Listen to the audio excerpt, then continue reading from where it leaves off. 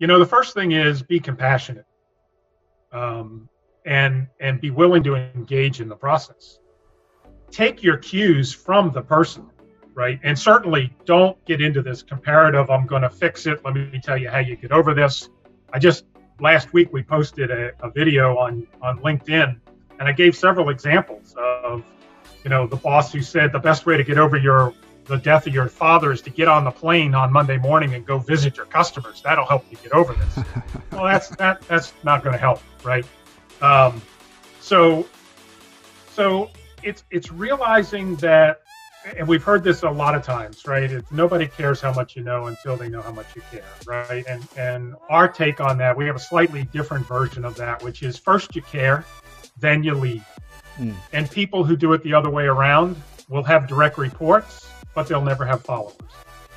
And so, what you're trying to do here is create a, an emotionally safe environment where people feel comfortable enough that they can raise their hands and say, I'm struggling. And we actually have a model. It's in our book, The Dying Art of Leadership. We have a, we have a model that helps leaders think about and look at what what they're seeing right? Mm. And where people are on this matrix to enable them to alter their their leadership style, right? Because you're typically you're probably going to have to communicate with this person more, right? Yeah. More more frequently, right?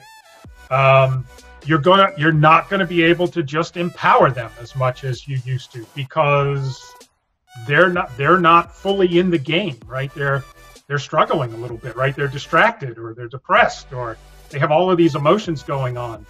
And so you have to be willing to be flexible, right? And you have to recognize that just because the person's back at work doesn't mean that they are back to themselves, right? Um, so engage in the discussion, recognize that it'll be emotional and that's okay. Listen more than you speak uh, is very, very important, right? Don't try to solve it. Don't try to give advice. Listen more than you speak. Be vulnerable. Don't be profound, right? Mm. If you're going to share the situation, you can do it by relating, right? But don't don't say things like i know what you're going through you don't know what you're going through everybody grieves differently right no yeah. matter how similar your situation is you don't really know right don't compare events, right? Uh, and just just say what's on your heart, and then follow the cues of the person, right? But for God's sakes, don't ignore it and wait for performance to slip, and then put the person in a position where their job's being threatened because they're not performing, all because you just let it go way too far, right? Yeah. Um, uh, you know, ironically, if you ever watch any episode of The Undercover Boss, you see this play out in every episode, right?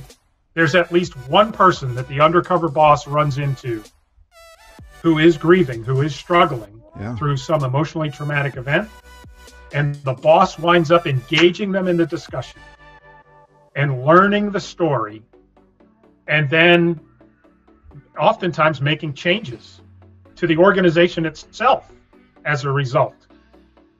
That's really that's a, that show serves as a great example of what how leaders should handle.